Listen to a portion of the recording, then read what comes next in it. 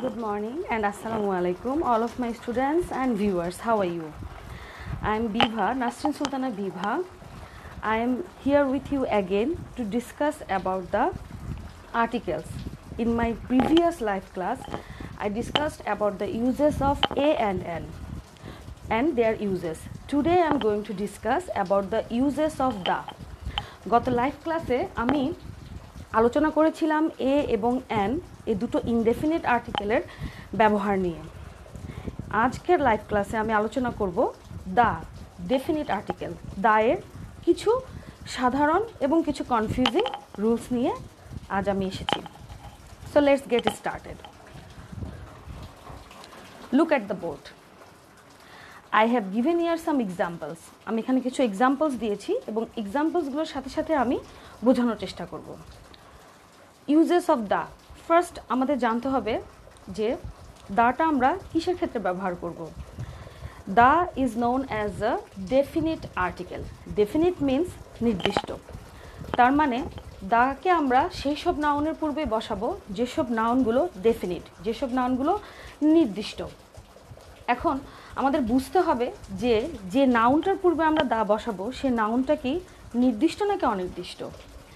এবং এই নাউনটা নির্দিষ্ট নাকি অনির্দিষ্ট, এটা বোঝার জন্য পুরোটা সেন্টেন্স অথবা যদি একটা প্যারা দেওয়া থাকে, সে প্যারাটা পড়তে হবে বা পুরোটা সেন্টেন্সের দিকে আমাদের খেয়াল রাখতে হবে। That means we have to concentrate on the full sentence and on the meaning of the sentence and if there if there is given any para to fill the article then we have to read the full para to understand whether the noun is definite or indefinite. মানে যদি কোনো প্যারার মধ্যে, প্যারা আকারে দেওয়া থাকে, যে আমাদের আর্টিকেল দিয়ে পূরণ করতে হবে, তাহলে আমাদেরকে পুরো প্যারাটা পড়তে হবে, কিছুটা বুঝতে হবে মিনিং বা যদি একটা সেন্টেন্স দেওয়া থাকে সেন্টেন্সটার মিনিং আমাদের বুঝতে হবে। শুধুমাত্র নাউনের দিকে তাকালে হবে না, যে নাউনটা ডেফিনিট না ইনডেফিনিট আমি সেটা বুঝে আগে দা বসালাম বা বসালাম না, সেটা ভাবলে আমাদের হবে না। আমাদের ফুল সেন্টেন্সের মিনিংটা দেখতে হবে। So look at the board look at the first sentence I saw a boy the boy was honest in my previous life class i told you that a and n uh, is uh, a and n come before the singular uncountable noun. প্রথমে দেখো আমি এ বয় বয়ের আগে আমি এ বসিয়েছি কিন্তু second সেন্টেন্সে same নাউনের পূর্বে বয়ের আগে আমি দা বসিয়েছি।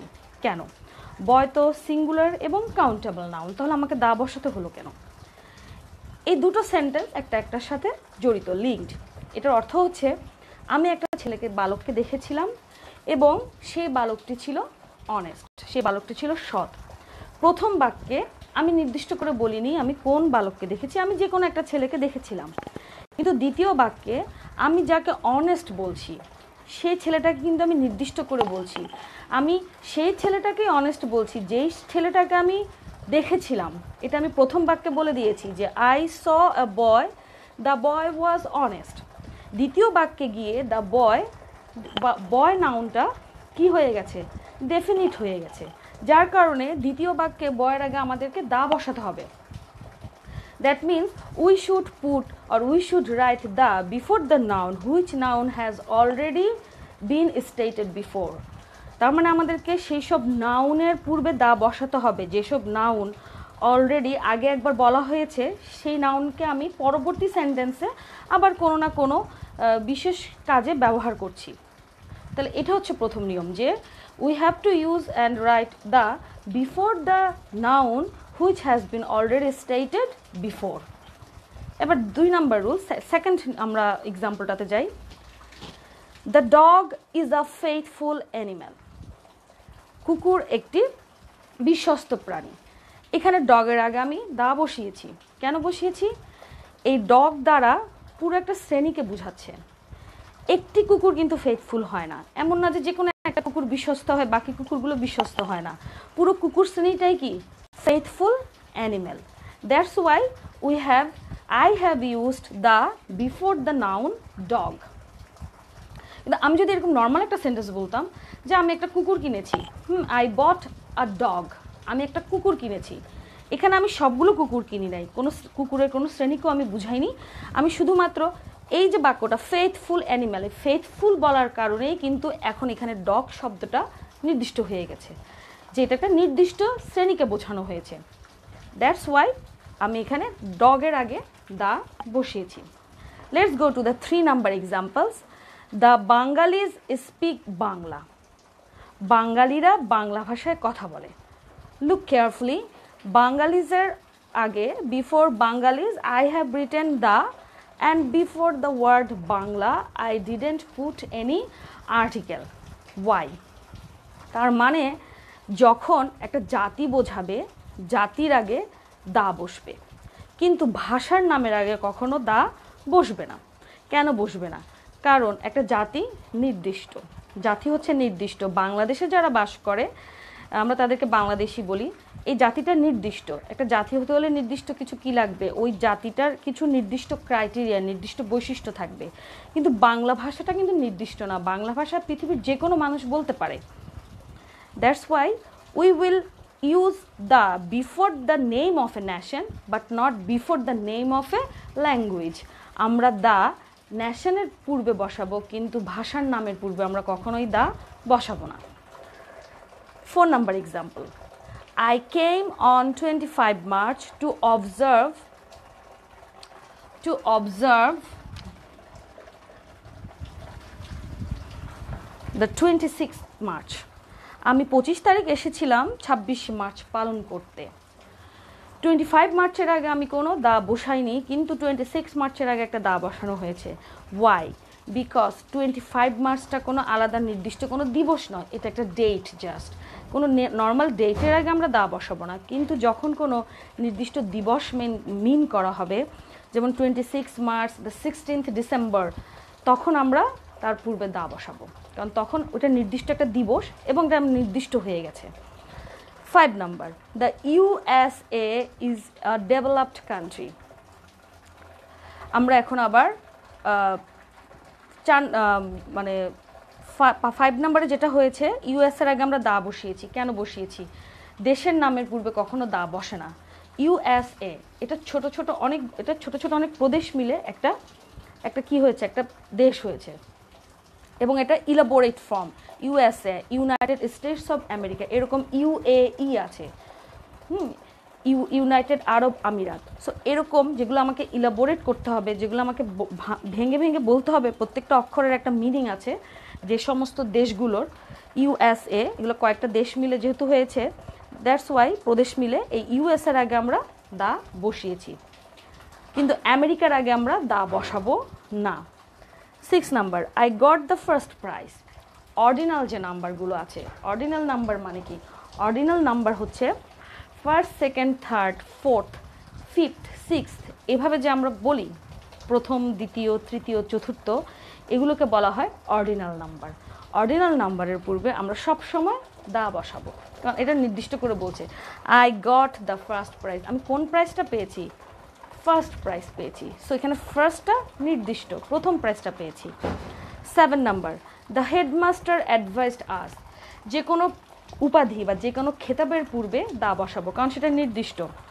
দি হেডমাস্টার অ্যাডভাইসড আস একটা স্কুলের একটা হেডমাস্টার কিন্তু নির্দিষ্টই থাকে, একজনই থাকে। দ্যাটস ওয়াই হেডমাস্টারের আগে আমরা দা বসিয়েছি। আরও কিছু এক্সাম্পলস আমি বোর্ডে লিখছি।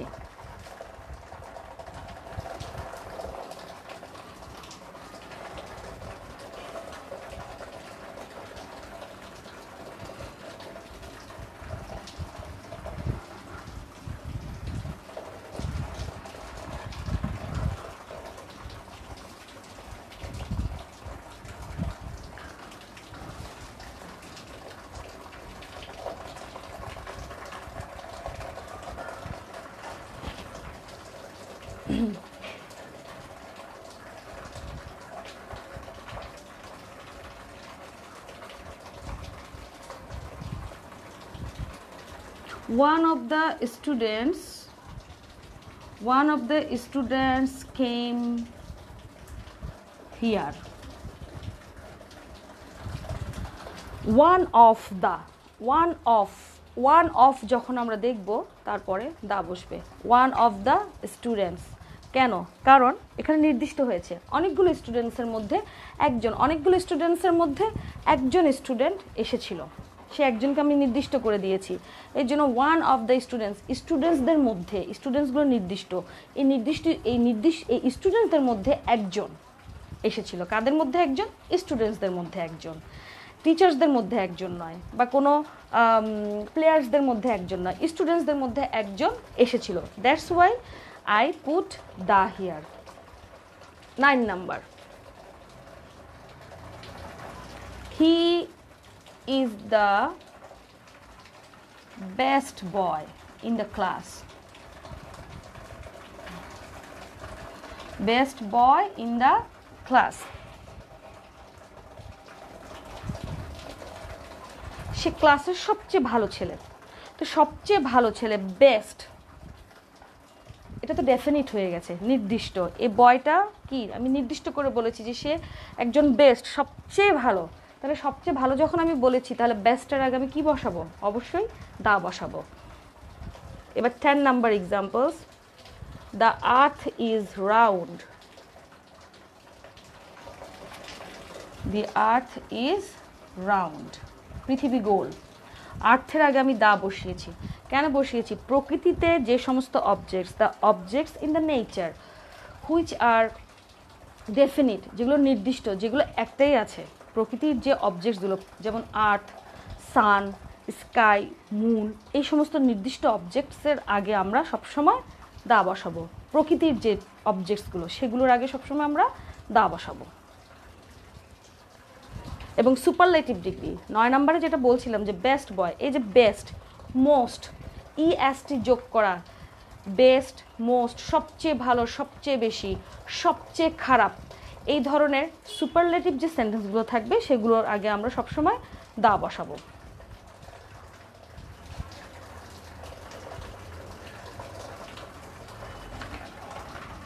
ইলেভেন নাম্বার কিছু ফ্রেজাল ওয়ার্ডের আগে দা বসে। ফ্রেজাল ওয়ার্ড মানে যেমন আমি কিছু ফ্রেজাল ওয়ার্ড এখানে লিখছি। All the same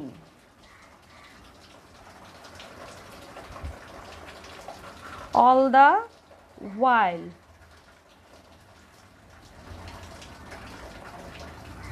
in the long run in the long run কিছু ফ্রেজাল ওয়ার্ডস ফ্রেজ মানে কি? কিছু শব্দ মিলে শব্দগুচ্ছ। কয়েকটা শব্দ মিলে যখন এই যে, এখানে তিনটা শব্দ মিলে একটা ফ্রেজ গঠিত হয়েছে এবং এই ফ্রেজটার অর্থ হচ্ছে একই। এই ফ্রেজের ফ্রেজাল শব্দগুলোর আলাদা আলাদা আলাদা করে কিন্তু আমরা অর্থ বের করতে পারব না। এটা তিনোটা, একটা মিলে একটা শব্দ হয়ে, অর্থ হচ্ছে একটা। অল দ্য ওয়াইল মানে সারাক্ষণ। অল দ্য ওয়াইল মানে হচ্ছে সারাক্ষণ, কিন্তু অল বা ওয়াইল এগুলো কিন্তু আলাদা আলাদা করে আমরা অর্থ বের করতে, করলে হবে না। তিন number in the long run দীর্ঘ সময়। ঠিক আছে? তো এই যে এই সমস্ত ফ্রেজাল ওয়ার্ডের পূর্বে কিন্তু দা বসবে।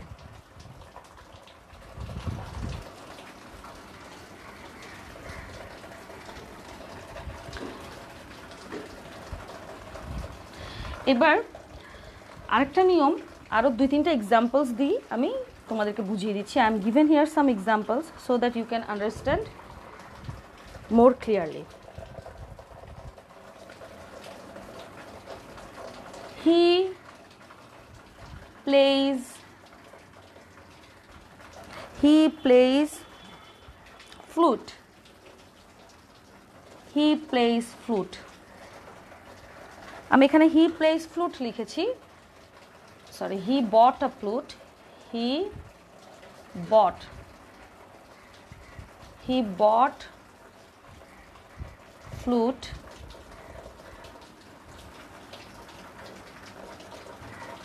and 12 number, he plays flute. Flute means বাঁশি. যে কোনো বাদ্যযন্ত্র যে কোনো বাদ্যযন্ত্রের নামের আগে দা বসাবো না আমরা, ঠিক আছে? কিন্তু যখন বাজানোর কথা আসবে প্লেজ মানে হচ্ছে বাজাচ্ছে বট মানে হচ্ছে কিনেছিল, সে একটা বাঁশি কিনেছিল যে কোনো বাদ্যযন্ত্রের নামের আগে আমরা দা বসাবো না আমরা কাউন্টেবল হলে বা সিঙ্গুলার হলে আমরা তার আগে এবং কনসোনান্ট সাউন্ড হলে আমরা এ বসাবো ভালো সাউন্ড হলে আমরা অ্যান বসিয়ে দিব। কিন্তু এখানে আমরা দা বসাবো। কেন বসাবো? সে বাসি কিনেছে, যে কোনো একটা বাসি কিনতে পারে। নির্দিষ্ট নয়। কিন্তু টুয়েলভ নাম্বারে হি প্লেস দ্য ফ্লুট এখানে সে কি বাজাচ্ছে? নির্দিষ্ট করে বলে দিচ্ছে, কিন্তু হারমোনিয়াম বাজাচ্ছে, তবলা বাজাচ্ছে নাকি বাঁশি বাজাচ্ছে? সে বাঁশি বাজাচ্ছে। নির্দিষ্ট করে দেওয়া হয়েছে যে সে বাঁশি বাজাচ্ছে, অন্য কিছু না। দ্যাটস ওয়াই এখানে ফ্লুটের আগে দা বসল, কিন্তু ওখানে ফ্লুটের আগে কিন্তু এটা আমরা বসাইনি। তার মানে যখন বাদ্যযন্ত্র বাজানোর কথা আসবে প্লে, তখন দা বসবে। এছাড়া বাদ বাকি সময় বাদ্যযন্ত্রের পূর্বে আমরা কখনোই দা বসাবো না। Same he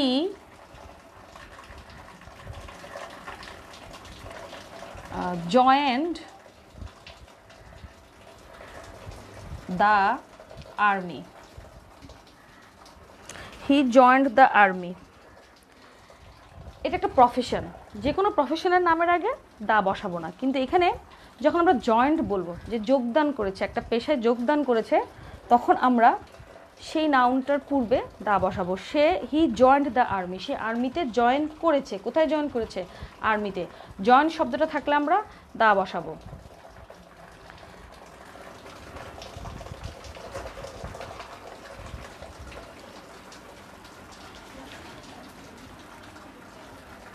এবার একটা মোস্ট ইম্পর্ট্যান্ট জিনিস আমি বলছি, সেটা হচ্ছে কখনো প্রপার নাউনের পূর্বে দা বসবে না। প্রপার নাউন কি? Proper noun means the noun which uh, signify or which specifies some uh, person or the কোনো ব্যক্তি বা কোনো দেশের যে নিজস্ব নামগুলো থাকে সেগুলোকে আমরা প্রপার নাউন বলি ইন্ডিকেট করে যে the noun which indicates the person the name of a country যেমন রহিম করিম এগুলো কিছু ছেলের নিজস্ব নাম। এগুলো কিন্তু কমন নাউন না এগুলো দিয়ে সব ছেলেদের নাম বোঝানো হচ্ছে না। বাংলাদেশ ইন্ডিয়া এই যে দেশের নামগুলো এগুলো কিন্তু প্রপার নাউন কোনো ব্যক্তি বা বস্তুর নির্দিষ্ট যে নামগুলো, সেগুলোকে বলা হয় প্রপার নাউন প্রপার নাউনের পূর্বে কিন্তু দা বসবে না। তবে কিছু প্রপার নাউনের পূর্বে দা বসবে। সেই কিছু প্রপার নাউনগুলো কি কি? আসা আমরা একটু দেখি।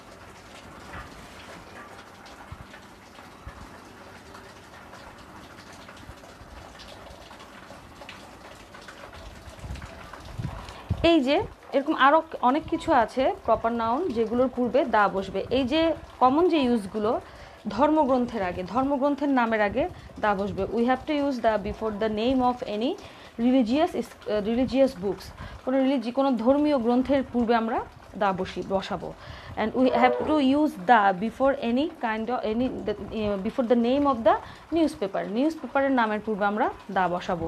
দ্য পদ্মা নদী বা সমুদ্র দি আটলান্টিক ওশান নদী সমুদ্রের যে নামগুলো থাকে, সেগুলোর আগে আমরা দা বসাবো। দ্য ঢাকা মেল ট্রেন ট্রেনের নামের পূর্বে আমরা দা বসাবো। তারপর জাহাজ, জাহাজের নাম, বিমানের নাম। জাহাজ, বিমান, এই সমস্ত জিনিসের আগে, এই সমস্ত প্রপার নাউনের পূর্বে সাধারণত আমরা দা বসাবো। তবে কোনো দেশের নাম বা কোনো ব্যক্তির নাম কোনো দেশ বা কোনো ব্যক্তির নামের পূর্বে আমরা অবশ্যই দা বসাবো না। দেশ এবং ব্যক্তির নামও হচ্ছে proper noun but we don't use we should not use the before the name of any country or before the name of any person but except those those two things ওই দুইটা মানে নাম ছাড়া, দেশের নাম এবং ব্যক্তির নাম ছাড়া we have to use the before some kinds of proper nouns আমাদেরকে দা বসাতে হবে এই সমস্ত প্রপার নাউনগুলোর পূর্বে। তো this is this is this these are the uses of the for today and i hope you have understood my class and if you mm, don't understand uh, please write a comment and subscribe to my channel uh, i will uh, give the link in the comment box and of course practice at home বাসায় বসে এগুলো অবশ্যই practice করতে হবে practice না করলে কখনোই এগুলো শেখা যাবে না। আমি যে এক্সাম্পলসগুলো দিয়েছি, বাসায় বসে যে কোনো বই নিয়ে এরকম টাইপের কিছু এক্সাম্পলস বা এরকম টাইপের কিছু প্যারা আর্টিকেলস দিয়ে পূরণ করতে এরকম কিছু para please keep practising at home and use this time এই যে করোনার মধ্যে শিক্ষা প্রতিষ্ঠানগুলো বন্ধ, এই বন- বন্ধের মধ্যে যে সমস্ত সাবজেক্টসে দুর্বলতা আছে, সেই দুর্বলতাগুলো কাটিয়ে ওঠার চেষ্টা করবে। And keep safe and be safe stay at home. And assalamu alaikum and goodbye